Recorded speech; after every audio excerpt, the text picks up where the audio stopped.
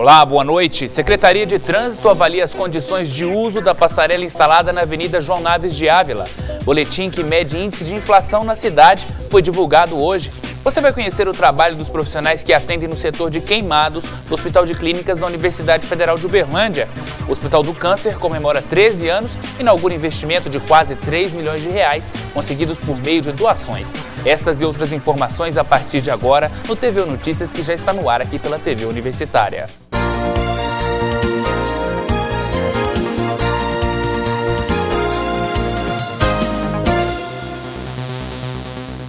A Secretaria Municipal de Trânsito e Transportes de Uberlândia iniciou ontem os testes na passarela instalada na Avenida João Naves de Ávila. A ideia é incentivar o uso da passarela e avaliar o funcionamento de toda a estrutura.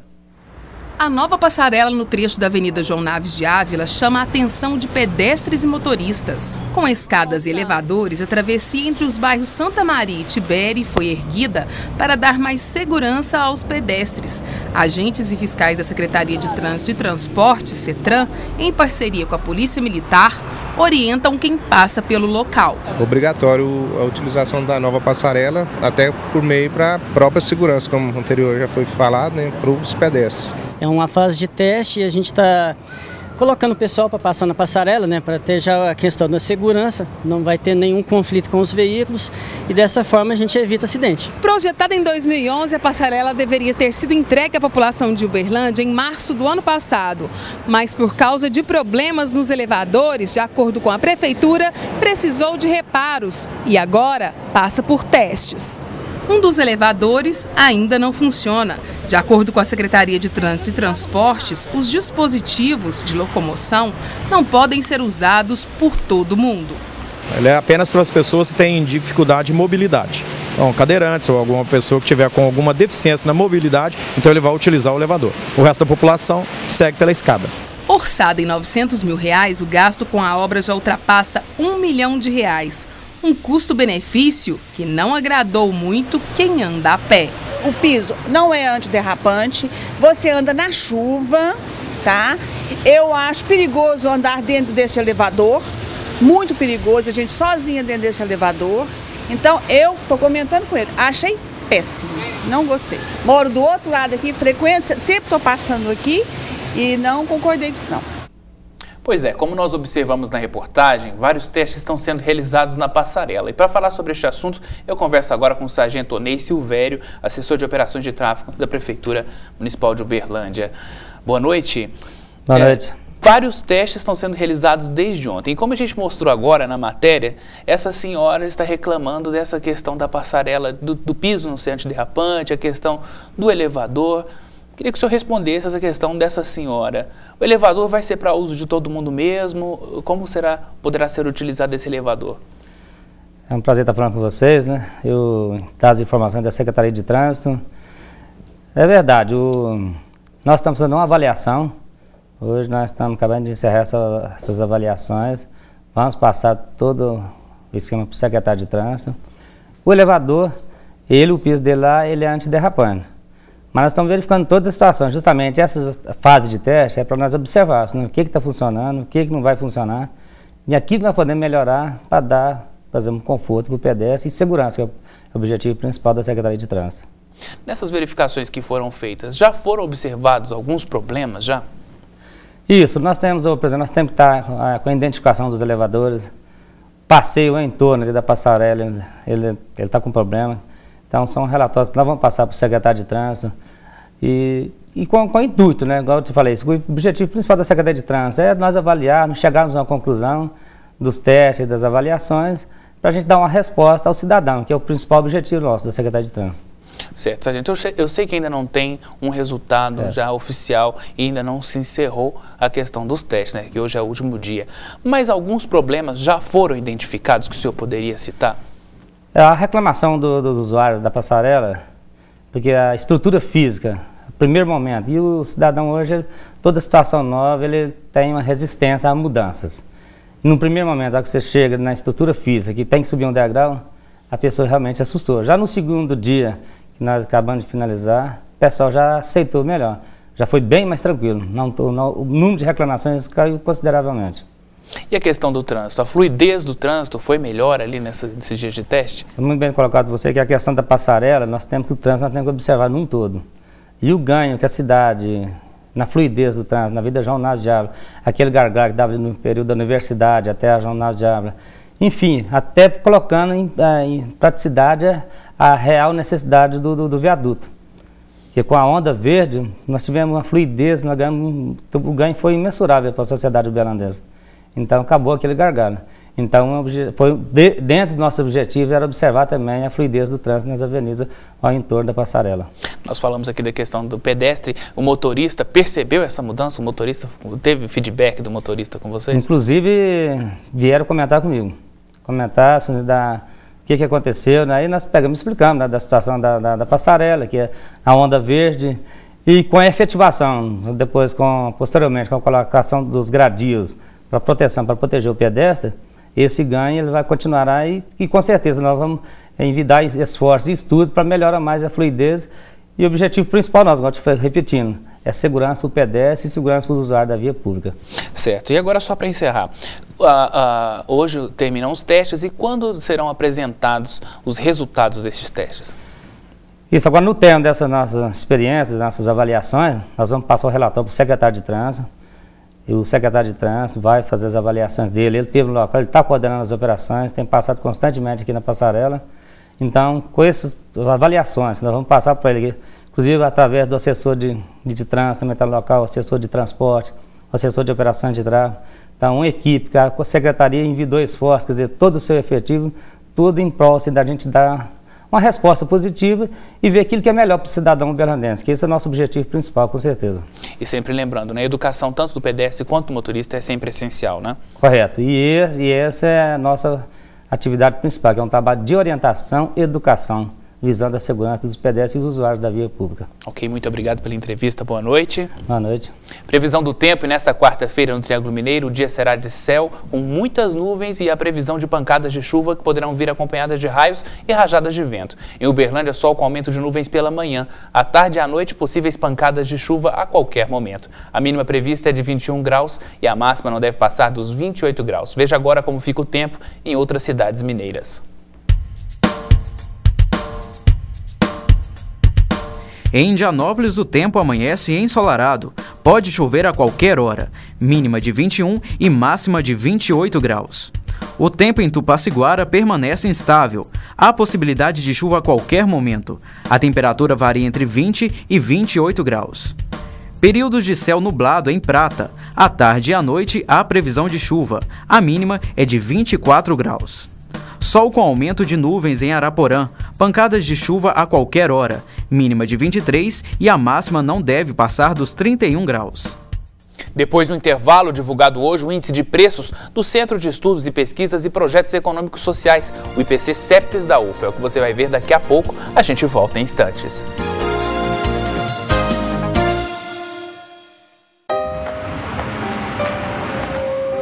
Um ex-detento tem duas opções: ou se recupera ou volta ao crime. Se conseguir um bom emprego, ele não vai querer errar de novo. Por isso, o CNJ criou uma bolsa de empregos para recolocação profissional de ex-detentos. Pense nisso. Você pode influir no caminho que esse homem vai tomar. Dê emprego para um ex-detento. Errar é humano. Ajudar quem errou é mais humano ainda. Conselho Nacional de Justiça. O Brasil faz a justiça. E foi divulgado hoje o índice de preços do Centro de Estudos e Pesquisas e Projetos Econômicos Sociais, o IPC CEPES da UFO. Quem tem as informações é a repórter Vanessa Pires. Neste mês, Uberlândia registrou uma inflação de 0,63%, o que foi 1,19 pontos percentuais acima do mês de fevereiro. E para falar mais sobre o assunto, eu converso com o economista Álvaro Fonseca. Explica para a gente, então, como foi a inflação deste ano em relação ao mês passado e até janeiro. Pois não. O que aconteceu nos dois primeiros meses desse ano, né, janeiro e fevereiro, foram duas variações, duas inflações atípicas, porque elas é, vieram decorrentes de liberação de, de, aumento de preços, de alguns preços, e também da redução da energia elétrica, que fez a inflação de fevereiro ficar com menos 0,58%. Então, o que aconteceu esse mês foi um retorno, vamos dizer assim, um retorno a uma certa normalidade a, a, dos preços. uh, ainda é muito alto, 0,63%. Imagina uma inflação dessa uh, indo até o final do ano, nós vamos chegar ao, ao, ao, chegaríamos ao final do ano com inflação em torno de 8%, o que não é nada desejável. Mas, de qualquer forma, sem grandes interferências, uh, os preços estão se acomodando. Né? Nós temos interferências climáticas, aí, principalmente no grupo alimentação, mas uh, esse mês não teve nada de, de muito diferente. Então, 0,63% foi o percentual. Álvaro, quais os setores que mais influenciaram nesse percentual? Nesse mês, nós tivemos finalmente a chegada do aumento dos preços dos combustíveis às bombas. O que nós tivemos até então era aumento de, de preços daquele grupo que é influenciado pelos combustíveis, né? principalmente transporte coletivo. Esse, isso já foi registrado anteriormente. Esse mês nós chegamos o preço nas bombas de aumentos do, da gasolina, do óleo diesel e também do álcool, que não está dentro, não estava dentro da liberação do governo, mas ele também subiu nesse mês. Uhum, esses três subiram.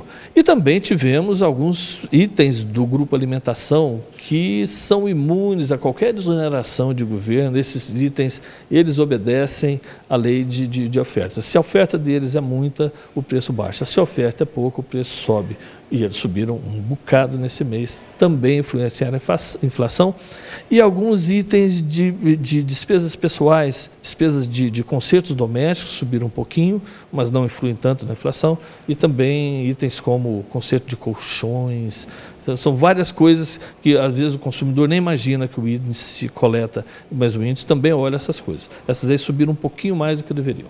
Entre estes itens tem os hortifrutos que influenciaram inclusive no preço da cesta básica também? Sim, a cesta básica a gente esperava que acontecesse ah, alguma coisa em torno de uma estabilidade, que não, ou que ela subisse muito pouco.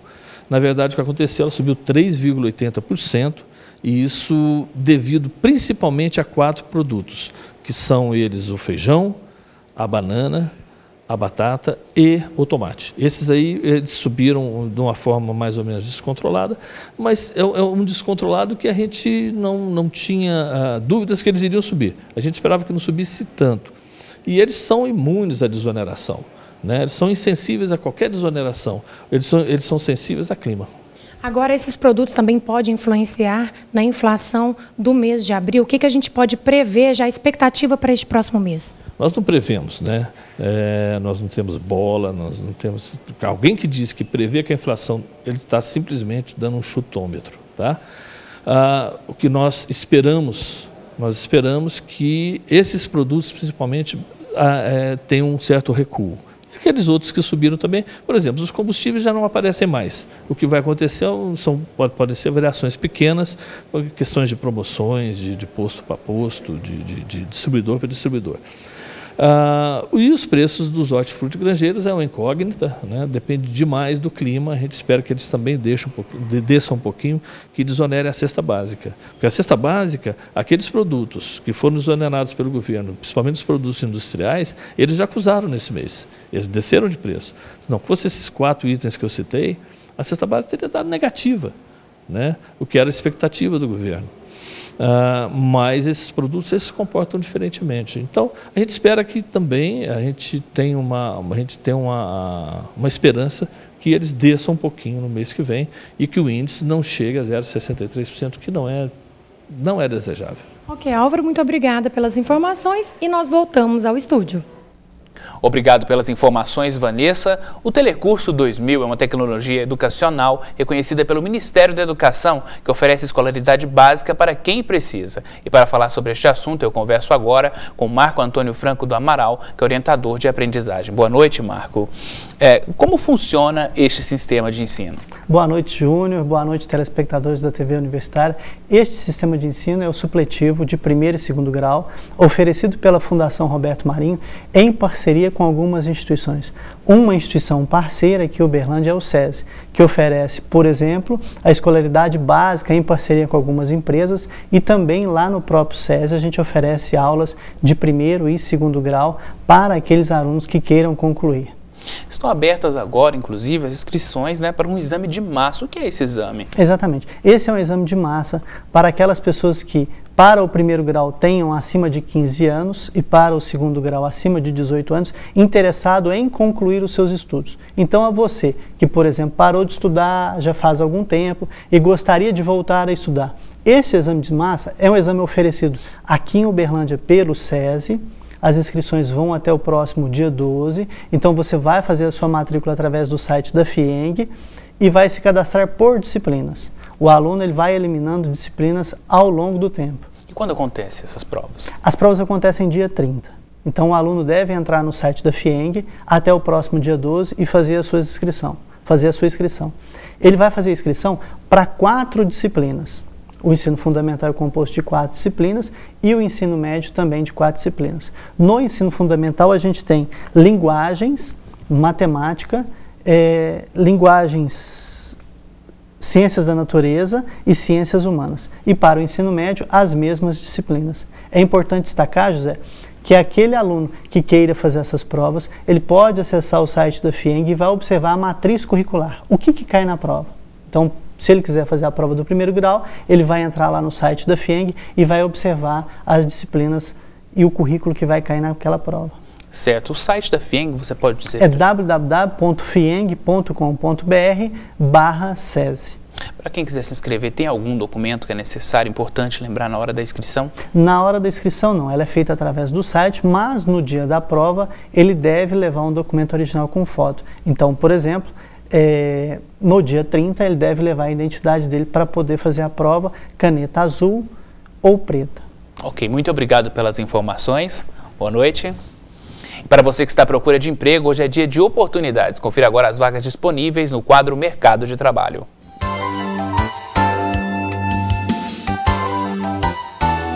Oportunidade de emprego para auxiliar mecânico de refrigeração. São duas vagas para salário de 750 reais. É necessário ter experiência e ser do sexo masculino.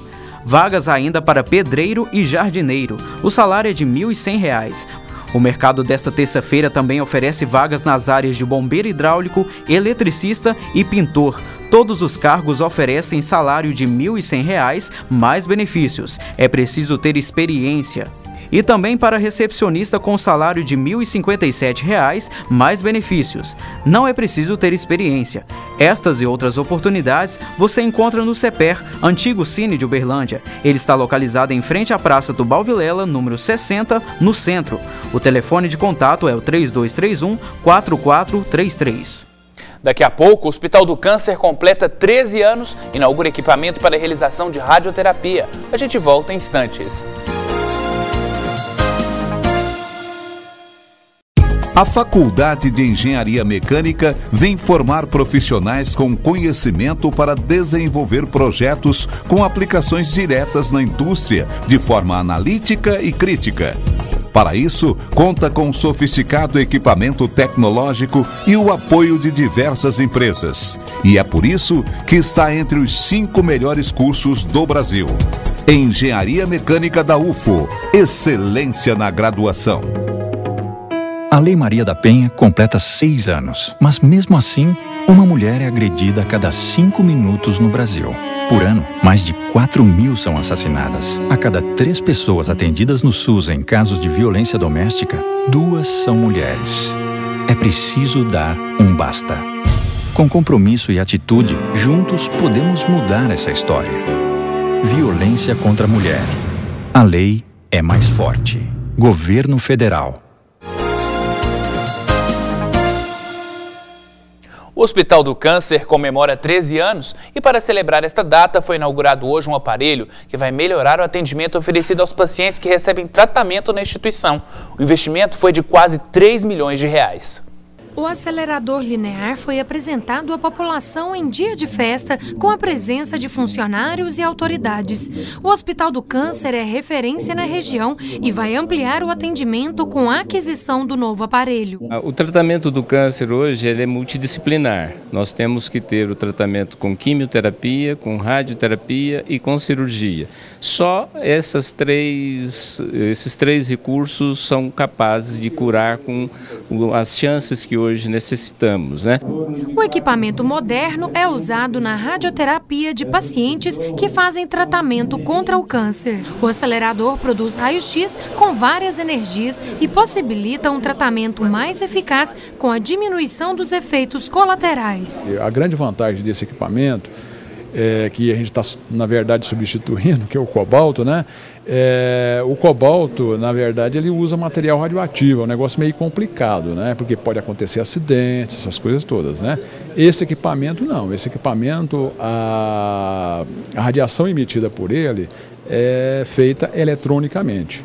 Então, é um equipamento que só emite radiação quando ele é energizado. Segundo o diretor, antes era possível atender na radioterapia cerca de 80 pacientes por dia. Agora este número vai dobrar. Dentro de três meses aproximadamente, nós esperamos estar tratando todos os pacientes que chegam ao Hospital do Câncer com no máximo 30 a 40 dias, que é um tempo hábil para a maioria dos pacientes que não são emergência. Emergência, como o próprio nome indica, começa-se o tratamento de imediato.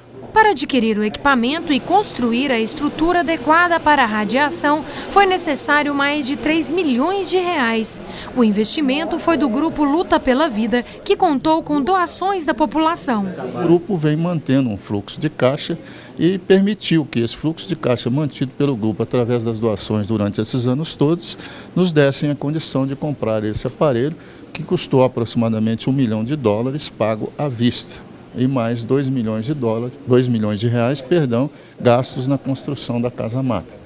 Esses dois, o, o, investimento total nesse espaço que vocês estão hoje foi algo em torno de 3 milhões de reais. Ainda segundo o presidente da ONG, o próximo passo será construir um bloco cirúrgico e oferecer transplante de medula. 800 cirúrgicos serão mantidos dentro desse hospital para que ele atinja a condição de hospital de referência e possa ter doações perdão, dotações orçamentárias diferenciadas. Equipamentos que vão ajudar no tratamento de pessoas como esta costureira, que trata o câncer de mama há oito meses e faz radioterapia todos os dias. As novidades deram ainda mais força para vencer a doença. Eu tenho comigo assim, a gente não pode focalizar então a gente tem que pedir a Deus e estamos bem, vamos melhorar cada dia mais. Hoje, hoje eu estou boa, amanhã eu vou estar melhor. Hoje você vai conhecer o trabalho dos profissionais que atendem no setor de queimados do Hospital de Clínicas da Universidade Federal de Uberlândia. A unidade é referência na região e conta com uma equipe multidisciplinar para salvar vidas. As cicatrizes depois de um acidente com fogo ficaram marcadas no corpo de Gil Deônio. Depois de 63 dias internado, ele teve alta há duas semanas e se recupera em casa. Eu me queimei com álcool em gel é, caí na propaganda enganosa que ele, o risco dele era bem menor, né? E fui colocar o gel na churrasqueira. A hora que eu levantei o frasco, não percebi que o fogo havia pegado no frasco. Quando eu botei na vertical para tampar, ele explodiu na minha mão. E me queimou 38% da cintura para cima, queimei tudo. Segundo e terceiro grau. Hamilton mora em Prata e teve 24% do corpo queimado. O acidente aconteceu há 13 dias e o paciente não tem previsão de voltar para casa. Eu estava lá na chácara do meu pai. Ele estava mexendo no carro dele para ele, ele Prata. Ele ia pôr gasolina no carro. E ele estava fumando. Pegou fogo nele. E a vez dele, dele jogar o galão fora, eu fui acudir ele, me jogou a gasolina tudo, tudo em cima de mim e pegou fogo nele, se me incendiou. O setor de queimados foi criado em 1980 e atende cerca de 60 pacientes por ano. Ele é referência no Triângulo Mineiro e Alto Paranaíba, área que atinge cerca de 3 milhões de habitantes. A unidade conta com oito leitos para adultos e crianças e uma equipe multidisciplinar que envolve cerca de 30 pessoas. Bem, é importante frisar que nosso serviço, com mais de 30 anos de existência, você, como médico, sozinho não consegue administrar o tratamento do queimado. Hoje nós dependemos da equipe de enfermagem, assistente social, nutricionista, fisioterapeuta, é, terapia ocupacional, todo um grupo que vem compor esse tratamento. Na Fora do curativo, as enfermeiras se preocupam com a higiene e trabalham com cuidado para atender os pacientes. Esta nutricionista está no hospital há 15 anos e oferece principalmente alimentos que ajudam na cicatrização. A alimentação do paciente queimado, ela tem vários desafios. O primeiro é que o paciente necessita de uma necessidade nutricional muito além do, do normal, do dia a dia. Então, por exemplo, em questão de energia, ele precisa de uma vez e meia até duas vezes o que um indivíduo normal precisaria. Ana Paula também faz parte da equipe. A fisioterapeuta explica as atividades para o paciente e acompanha os exercícios. O paciente é, da unidade de queimados, a retração ela é muito forte. Se a gente não fizer o alongamento, o posicionamento, essa retração vai cicatrizando, vai puxando e o paciente vai apresentando deformidades.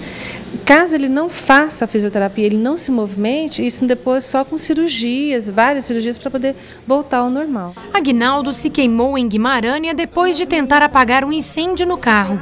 Agora ele orienta outras pessoas para que o erro não seja repetido. A pessoa nunca deve, se não tiver condições, se vê que está pegando fogo num carro, eu acho que nunca, se não tiver condições de apagar, nunca deve querer apagar, sabe? Só mesmo se tiver condições o extintor tiver tudo certinho, tiver condições de apagar, para poder pagar, porque senão eu estou sentindo na pele o sofrimento de, que é uma queimadura. Segundo esta enfermeira, casos de acidentes domésticos são os mais comuns, principalmente com crianças. Por isso, o hospital também se preocupa em realizar campanhas de conscientização para evitar acidentes graves. A gente vê no decorrer do tempo que as internações por queimaduras são acontecem em circunstâncias parecidas. Então, é nossa responsabilidade social é, promover campanhas, inclusive a gente já vai para a terceira campanha. É, é, no mês de junho nós estaremos nas escolas, nós estaremos na comunidade, veiculando uma campanha de alerta às mães, aos cuidadores, a todos aqueles, é, é, para o cotidiano em geral, de, de ações que poderiam ser modificadas e dessa forma evitar acidentes domésticos. Luziene perdeu a filha de 15 anos que se queimou em casa. Hoje ela alerta os pais para que tenham cuidado com produtos inflamáveis. Muito importante a informação, porque o acidente ocorre devido à falta de informação.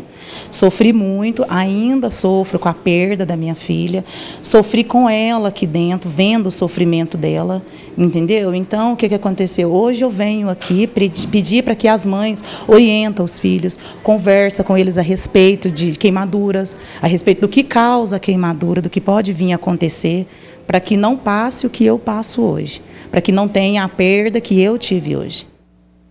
O TVU Notícias de hoje fica por aqui. Obrigado pela audiência. Fique agora com o Jornal Minas, segunda edição. A gente volta amanhã. Até lá.